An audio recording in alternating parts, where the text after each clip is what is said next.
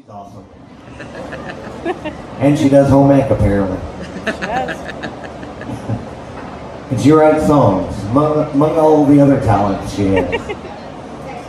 She's gonna do some Adele for us. Make you feel my love.